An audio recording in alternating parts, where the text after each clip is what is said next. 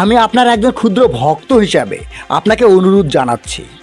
আপনি একটি আপনার মতো হাইপযুক্ত মিডিয়া তৈরি করেন। সেখানে যোগ্যতার বিচারের ফলাফল ঘোষণা করা হয়। সো বস আপনি এমন একটা মিডিয়া বানান কপিল শর্মার মতো। সাবস্ক্রাইব করে দেখেন তাহলে আমরা আপনাদেরকে মহানগরের মতো আরও ভালো ভালো কন্টেন্ট উপহার দিতে পারব। এবং পাইরেসি করে দেখবেন না সাবস্ক্রাইব করে দেখবেন।